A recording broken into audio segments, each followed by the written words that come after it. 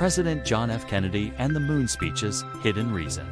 On September 12, 1962, President John F. Kennedy delivered his historic speech at Rice University, boldly declaring, We choose to go to the moon in this decade. The ambition captured the world's imagination. However, a lesser known anecdote reveals a much more pragmatic and perhaps more brilliant reason behind this seemingly impossible goal. At the time, the US was lagging dangerously behind the Soviet Union in the space race. The Soviets had launched Sputnik and sent the first man, Yuri Gagarin, into space.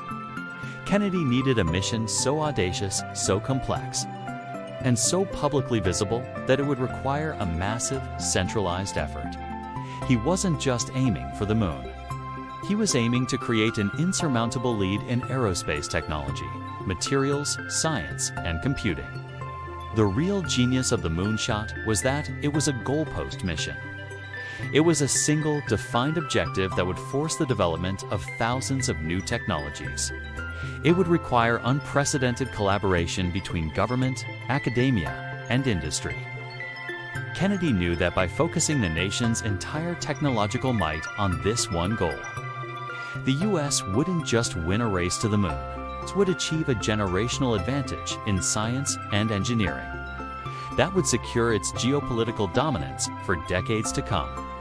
The moon was the destination, but the real prize was the technological revolution required to get there.